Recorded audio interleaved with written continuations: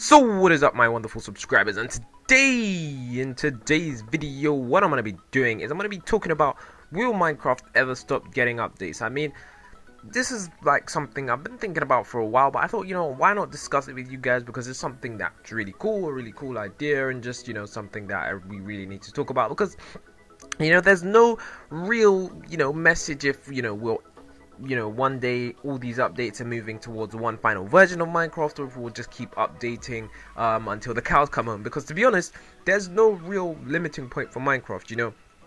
The game's been around for five years and it's always always always been receiving updates. So it's got me thinking like think about this guys.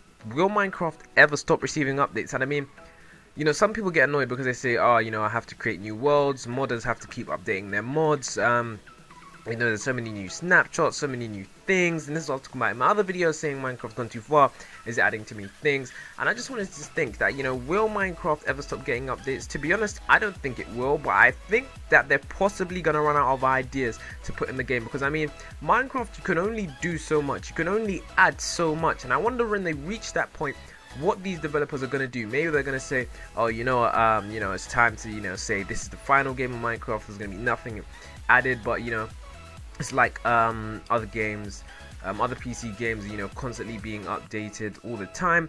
But um, I'm just, you know, trying to, you know, create a discussion for you guys because I'm really confused. I honestly think that one day they're gonna have to stop updating. That's just my honest opinion because, as far as I'm concerned, you know, you can't keep adding stuff, adding stuff into the game. Eventually, there, there's gonna be a stopping point. I mean, bug fixing, of course, that's gonna be, you know, all the time. There's always going to be glitches and bugs, but in terms of features, I think that eventually they're going to get um you know tired of you know enough features into the game. To be honest, I think they're going to stop updates. Um, not pretty soon, but I mean, I think one day they'll stop the updates. But to be honest, I really don't know. Maybe they just have a creative team constantly adding stuff, removing things from the game.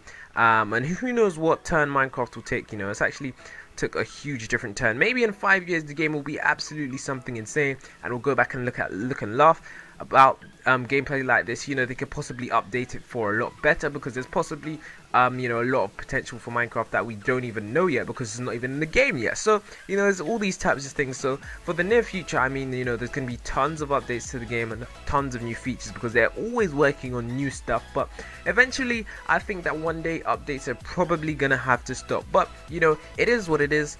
Um, you know, some people say tomatoes, some people say tomatoes. Um, and yeah, guys, it's been DrewsMC, your favorite YouTuber. Don't forget to click that like button, guys. If you did enjoy the video, don't forget to leave a snazzy little comment there down in the comment section. You know, I really want to hear you guys' opinion. I will reply to your comments as well.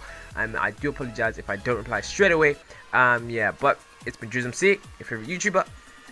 Until next time, it's going to be peace from me.